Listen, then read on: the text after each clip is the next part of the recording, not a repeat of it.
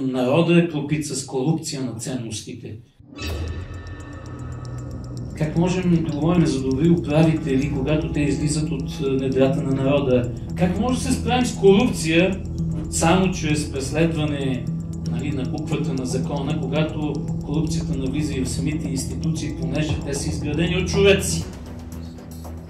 И тия човеци, ако има корупция на ценностната им система, на това, което са те, като личности, какво очакваме тогава? Къде да, да дойдат добри управници? И какво е това народовластие, като някой ни каже?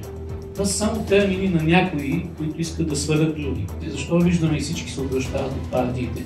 Защото няма какво да прави един човек в тия партии верен не на някакви други съображения, свързани с неговото кариерно и друго издигане, а идеали, цели, т.е. нещо, на което да е верен, както са били възрожденците. Затова днес е много смешно, като някакви консерватори, те наречени съвремени, които са минали през 3-4 партии. Много консервативни хора са това, разбирате.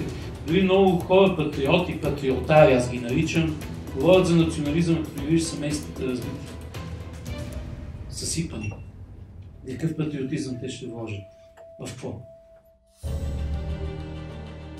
Защо в днешно време, ако има някакъв най-голям клад, това е точно разбиране, ново учение за това, той е човек. Тук се загатвам песента, мисля, че и Станимир спомена за солидарността.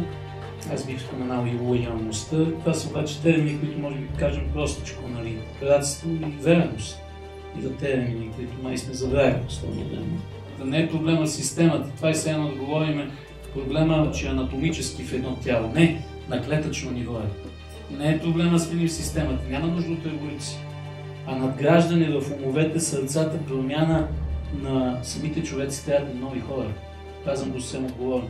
И ни трябва нова система. Дали президентска или друга република, това няма да реши нещата. Трябва да нови хора.